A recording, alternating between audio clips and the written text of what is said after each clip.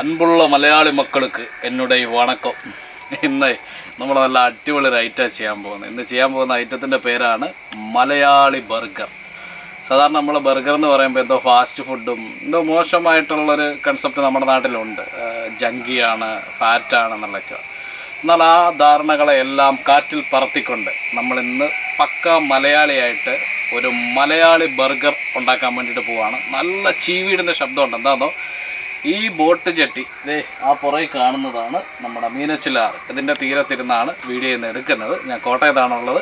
അപ്പോൾ ഇതുപോലുള്ള ചീവിയുടെ ശബ്ദം കോഴിയുടെ ശബ്ദമൊക്കെ ബാക്ക്ഗ്രൗണ്ടിൽ കയറി വരും. ചെറുതായിട്ടൊന്ന് ക്ഷമിച്ചേക്ക്. ചിലർക്ക് അത് ഇഷ്ടമാണ്. അപ്പോൾ പുതിയൊരു എപ്പിസോഡിലേക്ക് നമുക്ക് കിടക്കാം. ഇന്നത്തെ ഐറ്റത്തിന്റെ പേര് മലയാളി ബർഗർ.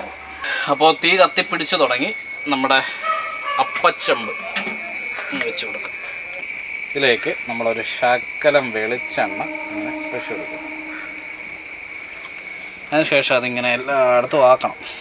അടുത്തത് ഇതിലേക്ക് നമ്മൾ ഇഡ്ലി മാവ് അരച്ച് വെച്ചിരിക്കുന്നത്. ഇത് പൊന്നിയരിയും ഉഴുന്നും കൂടെ അരച്ചെടുത്ത ഇഡ്ലി മാവാണ്. ഇത് നമ്മൾ ഇതിനകത്തോട്ട് അങ്ങ് ഒഴിക്കും ഇതാണ് നമ്മുടെ ബർഗറിന്റെ ബണ്ണ് അഥവാ ഇഡ്ഡലി എന്ന് പറയാം. ഇഡ്ഡലി ആണല്ലോ ഇഡ്ലി മാവാണല്ലോ.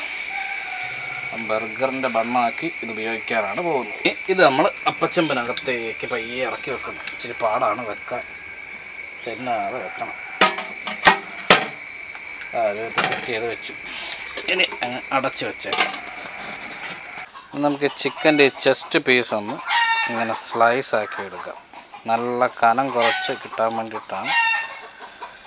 രണ്ടത് ഉണ്ടോ? നമ്മളൊരു ഹാർട്ട് പോലെ ചെത്തിയെടുത്തിട്ടുണ്ട്. എല്ലാവർക്കും ഹാപ്പി വാലന്റൈൻസ് ഡേ ഇനി ഇത് നമുക്ക് നന്നായിട്ട് ഇങ്ങനെ അടിച്ച് പരത്തി പരത്തി പരത്തി. എത്രയും പരന്ന് കിട്ടുമോ അത്രയും ഇങ്ങനെ എല്ലാം നമുക്ക് നന്നായിട്ട് പരത്തി എടുക്കണമെങ്കിലേ പറ്റത്തുള്ളൂ. കോഴിയുടെ ശല്യം ഭയങ്കര കേട്ടോ ഈ പെടക്കോഴി പോകുന്ന സമ്മതിക്കാം. മുട്ടയിട്ടിട്ടെ. പൂവനും അതിന്റെ കൂട്ടത്തിൽ എന്ത് വേദന എടുത്തിട്ടാണ് എന്ത്.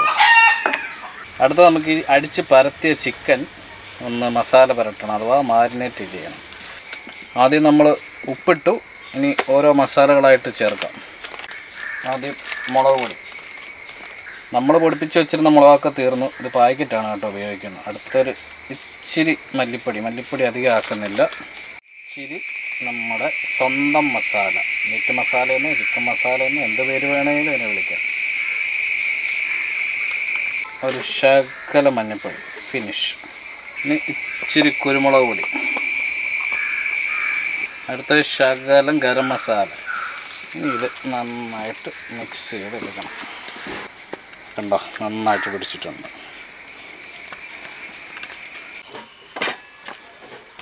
നമുക്ക് വറുത്ത് കോരാൻ വേണ്ടിയിട്ട് സവോള ഒന്ന് കട്ട് ചെയ്തെടുക്കാം. ആ കട്ട് ചെയ്യുന്ന രീതി ഒന്ന് ശ്രദ്ധിച്ചോണേ.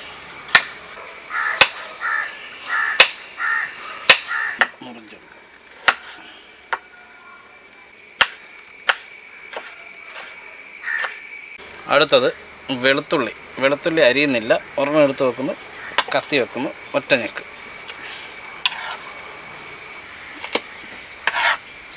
കറിവേപ്പില. ഇത്രയും സാധനം നമുക്ക് വറുത്ത് കോരേണ്ടതാണ് കേട്ടോ. തീ കത്തി അപ്പച്ചമ്മന്റെ കാര്യത്തിൽ തീരുമാനമായിട്ടുണ്ട്. സൈഡിൽ മുഴുവൻ കരി പിടിച്ച്. നമുക്ക് മൊത്തത്തോളം പൊങ്ങി വരുവാണോ? ആഹാ വെന്തിട്ടുണ്ടെന്ന് തോന്നുന്നേ. കൊണ്ട് പിടിച്ച്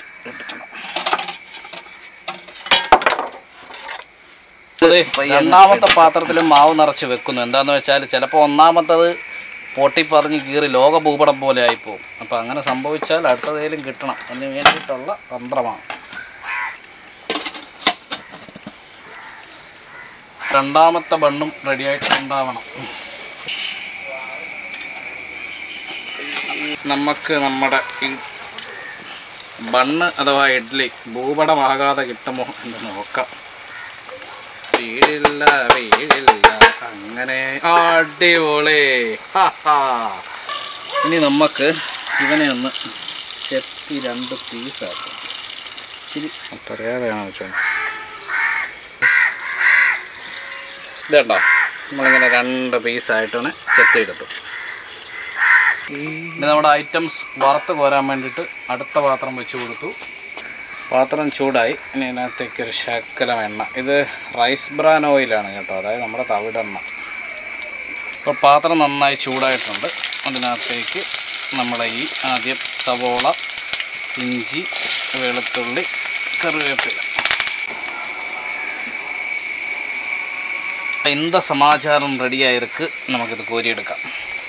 ഇത് നമ്മൾ ഒരു പാത്രത്തിലേക്ക് കോരിയെടുക്കും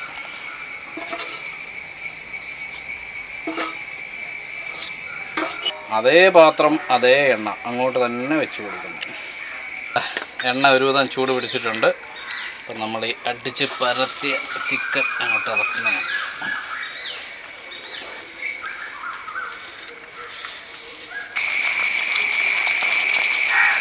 ഒരു സൈഡ് സെറ്റായിട്ടുണ്ട്. ഒന്ന് മറിക്കാം. ഇനി നമുക്ക് ഇവനെ അങ്ങ് വാങ്ങാം കേട്ടോ. എന്നിട്ട് പ്ലേറ്റിലേക്ക് കോരി കോരി എടുക്കാം. ബട ചോറിന്റെ കൂട്ടത്തിൽ കറിക്കാൻ കഴിക്കാൻ ബെസ്റ്റാണ് നമുക്ക് കുറച്ച് മുട്ട സെറ്റാക്കി എടുക്കാം. ഞങ്ങളുടെ കോട്ടയംകാർ മൊട്ട എന്ന് പറയും. ഇതിനകത്തേക്ക് നമ്മളൊരു ശക്കല ഉപ്പിട്ട് കൊടുത്തു. ശര കുരുമുളക് പൊടി.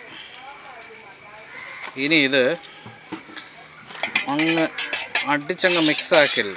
ജസ്റ്റ് ആ ഉണ്ണി ഒന്ന് പൊട്ടി ഇങ്ങനെ കിടന്നാൽ മാത്രം മതി. നമ്മളൊരു പഴയ കടായി വെച്ചു ശകലം എണ്ണ ഒഴിച്ചു ഒന്ന് ചുറ്റിച്ച് കടായി ചൂട് പിടിച്ചു. ഇനി അതിലേക്ക് നമ്മൾ കുറച്ച് മുട്ട മുഴുവനില്ല പകുതി. അപ്പോൾ ഇതിന്റെ വൺ സൈഡ് വെന്ത് കഴിഞ്ഞ് വൺ സൈഡാണ് നമ്മൾ ഉദ്ദേശിക്കുന്നത്. ഇതുണ്ട്? നന്നായിട്ട് ഓടുന്നുണ്ട്. ഇനി ഇതൊരു ഇലയിലേക്ക് നമ്മൾ പയ്യെ മാറ്റുകയാണ്. ഉണ്ടോ ഒരു സൈഡ് നല്ല അടിപൊളിയായിട്ട് വെന്ത് കഴിഞ്ഞു.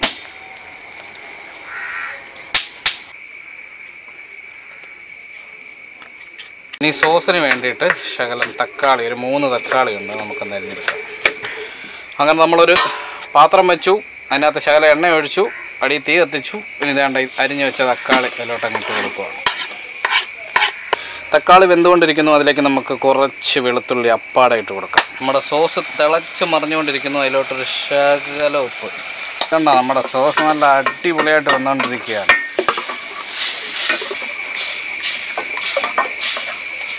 ഇപ്പോൾ നമ്മുടെ സോസ് ഫൈനൽ സ്റ്റേജിൽ വന്നുകൊണ്ടിരിക്കുന്നു. എടുത്തു വെക്കുന്നു. ശേഷം നമ്മുടെ ഈ ഇടിമന്ത് വെച്ചിട്ട് ഇങ്ങനെ അങ്ങോട്ട് ചതക്കണം നന്നായിട്ട്.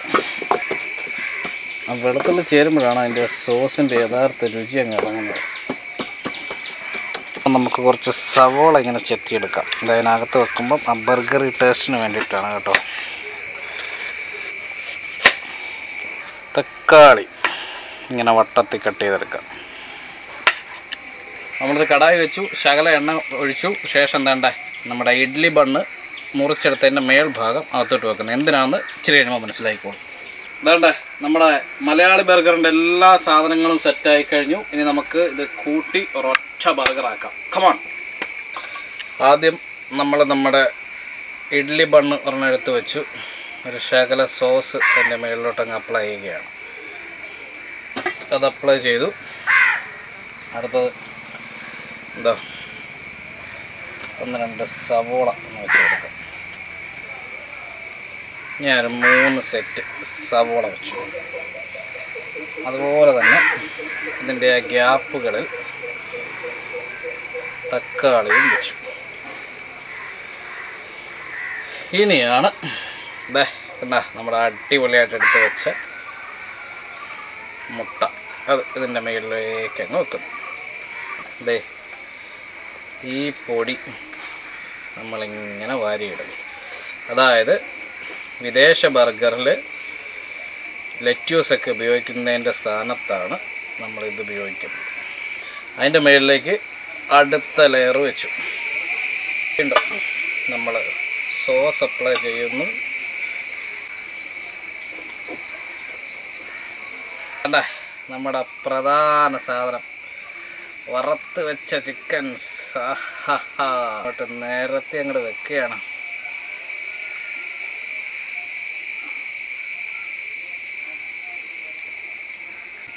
ചിക്കന് രുചി കിട്ടാൻ വേണ്ടിയിട്ട് നമ്മൾ കുറച്ച് മല്ലിയില ആ കൂടെ അങ്ങ് കിട്ടും ഇനി അടുത്ത ലെയർ തിരിച്ചു വെക്കാം. അടുത്ത ലെയർ വെച്ചു.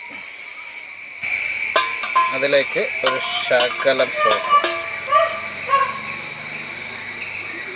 ആ സോസ് ഒന്ന് അപ്ലൈ ചെയ്ത് പിടിപ്പിക്കണം അതായത് അടുത്ത നമ്മുടെ മുട്ടയൊന്ന് ഒട്ടാനുള്ള സോസ് മാത്രം മതി ഇവിടെ. മുട്ട ഇവിടെ ഇതാ നമ്മുടെ അടുത്ത മുട്ട. അടിപൊളിയായിട്ടാണ് വരുന്നത്. ഈ മുട്ടയുടെ മേടിലേക്ക് വളരെ ശ്രദ്ധിച്ച് മുമ്പേ വെച്ചതുപോലെ തന്നെ ഒരു മൂന്ന് ലെയർ സവോള വെച്ചു. ഈ കൂടെ നമ്മൾ വെക്കുന്നത് പുതിന അഥവാ മിന്റാണ് പിന്നെ ആ ഗ്യാപ്പ് ഫില്ലിംഗ് പോലെ തക്കാളി. കാക്കയ്ക്ക് ഇത് കണ്ടിട്ട് സഹിക്കുന്നില്ലെന്ന് തോന്നുന്നുള്ളൂ അലമ്പുണ്ടാക്കുന്നു നമ്മുടെ രുചിവർദ്ധന. ഇതിന്റെ മേളിൽ നമ്മുടെ സിംഗിൾ പീസ് ചിക്കൻ കൊതി സഹിക്കാൻ പറ്റുന്നില്ലല്ലോ ഈ. ഏറ്റവും മേളിൽ കടായിൽ സെറ്റ് ചെയ്തിരുന്ന നമ്മുടെ ബണ്ണ. അത് വെക്കുന്നു. എന്റെ മേളിൽ ഒരില വെക്കുന്നു. ഒരു തക്കാളി വെക്കുന്നു. ആഹാ ഫിനിഷ് നമ്മുടെ മലയാളി ബിഗ്ഗസ്റ്റ് ബർഗർ നമുക്ക് ഇതൊന്ന് കട്ട് ചെയ്ത് നോക്കാം. ഈസി ആയിട്ട് മുറിയുന്നുണ്ട്. അങ്ങനെ മുറിയുന്ന ഞാൻ പ്രതീക്ഷിച്ചില്ല. നല്ല സിമ്പിളായിട്ട് മുറിഞ്ഞു കേട്ടോ. ഇതിങ്ങനെ കേക്ക് മുറിക്കുന്ന പോലെ നമുക്ക്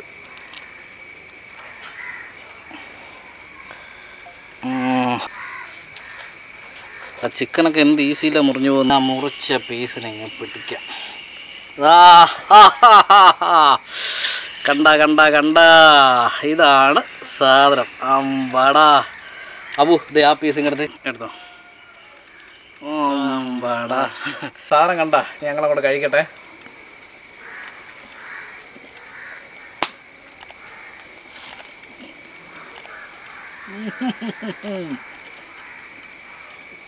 ചിക്കന്റെ മേളിലെ മിന്റ് ഇട്ടില്ലേ? അതും ചിക്കനോടെ ചേർന്നിട്ട് ആ ഗ്രേവിയും കൂടെ ചേർന്നിട്ട്? എന്റെ സാറേ? ഒരു രക്ഷയില്ല കേട്ടോ.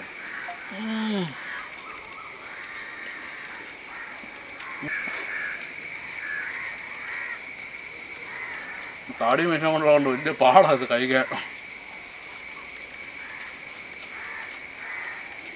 ആ സോസ് നല്ലപോലെ ആയിട്ടുണ്ട്.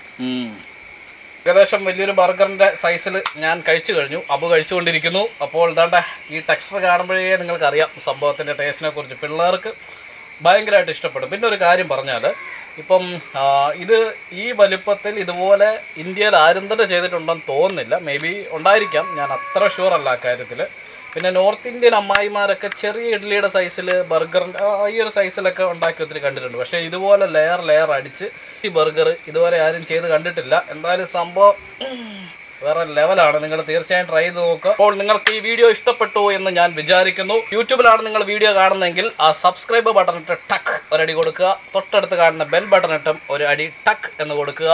ഫേസ്ബുക്കിലാണ് കാണുന്നതെങ്കിൽ ഈ വീഡിയോ അതുപോലെ ഷെയർ ചെയ്ത് നിങ്ങളുടെ വാർഡിലേക്ക് എത്തിക്കുക കൂട്ടുകാരിലെത്തിക്കുക ഷെയർ ചെയ്യുക മറ്റുള്ളവരെ എല്ലാവരെയും കാണിക്കുക നമ്മുടെ കൂട്ടത്തിൽ കട്ടയ്ക്ക് നിൽക്കുക. നിങ്ങൾ തരുന്ന സ്നേഹമാണ് നമ്മുടെ വിജയം. അപ്പോൾ അടുത്തൊരു കിടക്കാച്ചി വീഡിയോയിൽ വരുന്നവരേക്കും That is Arakelabu and this is Mark Anthony signing off.